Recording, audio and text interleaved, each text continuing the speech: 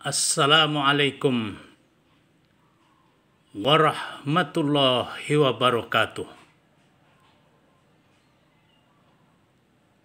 Haji Sahbirin Nur yang populer dipanggil Paman Birin adalah sang petahana Gubernur Provinsi Kalimantan Selatan yang sangat peduli kepada kehidupan sosial budaya masyarakat Kalimantan Selatan.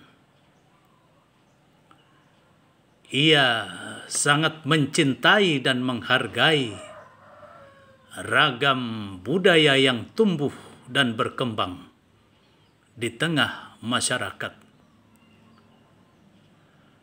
Festival Layang Dandang yang dilaksanakan di Kabupaten Hulu Sungai Selatan adalah salah satu bukti bagaimana Paman Birin mengapresiasi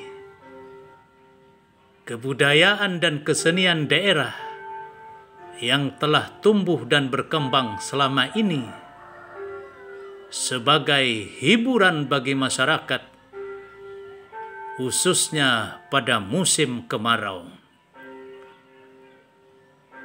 Bangsa yang besar adalah bangsa yang menghargai budaya luhurnya.